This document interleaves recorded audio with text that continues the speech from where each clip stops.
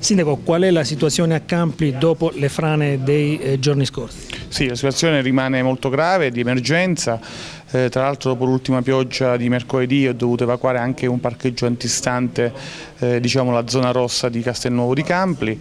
Eh, abbiamo iniziato dei lavori di regimentazione delle acque con una somma urgenza, ma c'è bisogno di un intervento da parte della Regione, del Governo, affinché si faccia un intervento strutturale, affinché questa frana non si estenda ulteriormente e vada a pregiudicare altre abitazioni. Voglio ricordare che ad oggi abbiamo 120 sfollati e quindi bisogna intervenire immediatamente eh, per evitare che la cosa degeneri.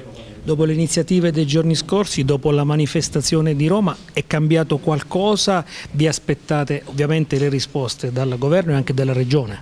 Allora, al momento non abbiamo avuto le risposte, attendiamo il 20 che c'è la riunione in Commissione per l'accoglimento degli emendamenti.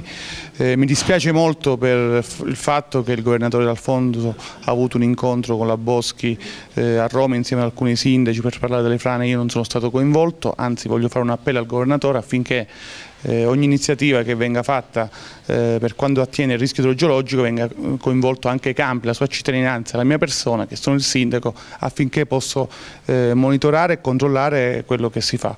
Quindi questo è un appello che voglio fare e spero che il governatore mi coinvolga perché a dire il vero lui è anche venuto eh, in un consiglio straordinario dando ampie garanzie eh, a tutti i cittadini camblesi, questa volta secondo me ci ha un po' delusi, però c'è tutta la possibilità di recuperare.